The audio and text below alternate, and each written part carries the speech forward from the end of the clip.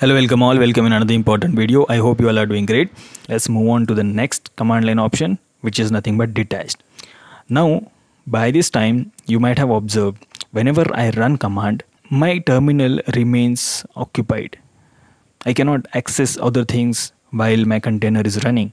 So this is not good because we might want to monitor something. We might want to run a few more images.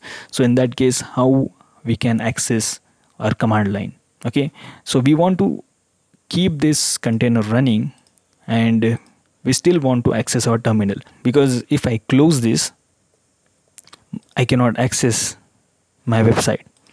So how we can handle this? And the answer is detach option. So this detached option it helps to run our container in the background.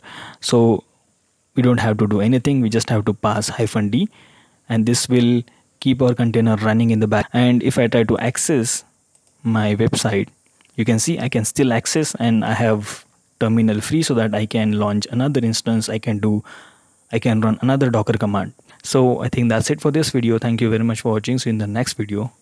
Bye